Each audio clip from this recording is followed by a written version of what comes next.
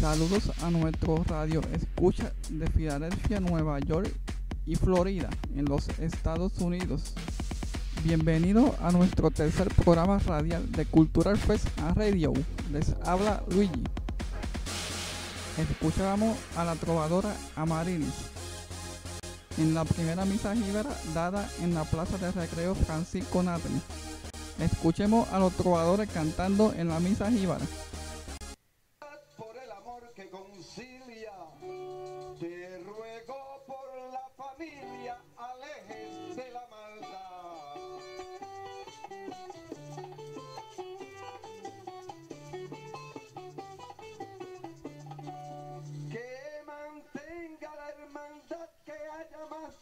Devoción, que vivan en devoción.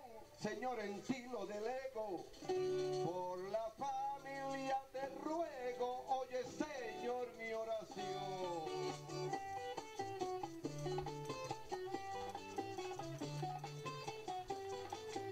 Escuchemos a Padre Cute dando la liturgia. Divina Providencia pues se le atribuye a, eh, a San Felipe Benicio, que era el quinto eh, superior de los siervos de María, que también en una situación eh, embarazosa, eh, estando los seminaristas en el seminario y no teniendo qué comer, pues invocó la divina providencia y de una manera como mister- misteriosa y milagrosa, de momento aparecieron en aquella puerta de aquel seminario eh, unas canastas llenas de alimentos eh, que no se supo ¿verdad? nunca quién los puso allí. Eh, y esta devoción va cogiendo auge en nuestra tierra, aunque llegó un momento como todas las cosas, ¿verdad? que de momento se duermen, pero ya para los años 50 apareció por, por estos litorales el padre Junquera, hizo una evangelización extensa en torno a la Virgen de la Providencia y de nuevo cogió auge, tanto así que el cardenal Luis Aponte Martínez le pide entonces eh, al Papa Pablo VI en el 1969 que nombre a la Virgen de la Providencia patrona eh, de Puerto Rico. Y el Papa establece un decreto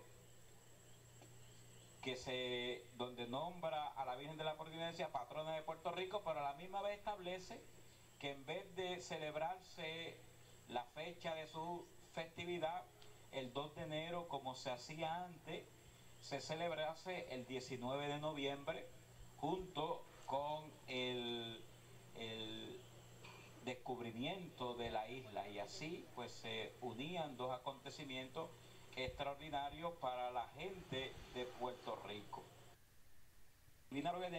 Pues En deportes, felicitamos a la nadadora puertorriqueña y vegabajeña Vanessa García, que ganó medalla de bronce en los Juegos de Veracruz 2014.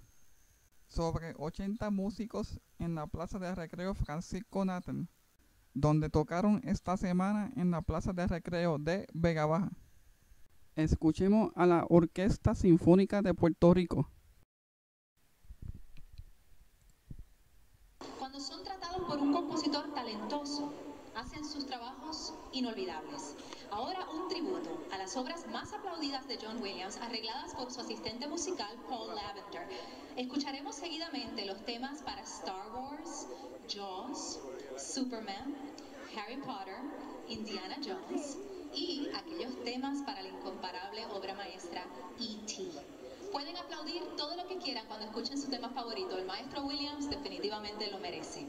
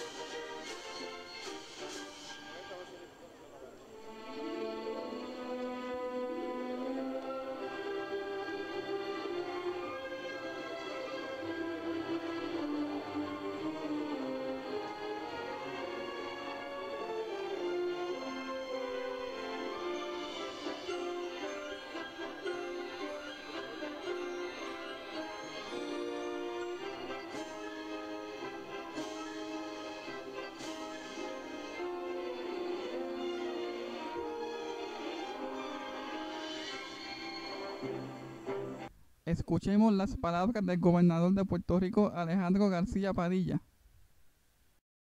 De esa manera, rescatar nuestras comunidades, rescatar lo mejor de nuestro país. Estos músicos que están aquí son músicos de todas las comunidades de Puerto Rico, que un día fueron expuestos a este tipo de arte y quedaron prendados, quedaron enamorados.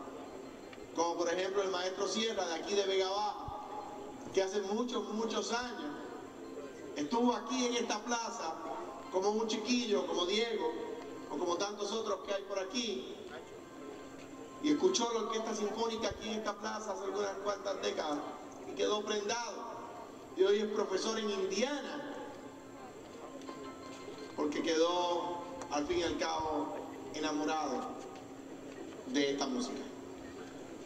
Wilmy y yo hemos querido expandir los horizontes de nuestros jóvenes a la música popular, a las bellas artes y por supuesto a todo tipo de expresión que sea capaz de cautivarnos. Y es por eso que estamos aquí y que hemos iniciado este esfuerzo en Vega Baja, en el Merao Merao. Bueno amigos, gracias por su atención. Hasta la próxima. Y Cultural Fuerza Radio les desea feliz Navidad.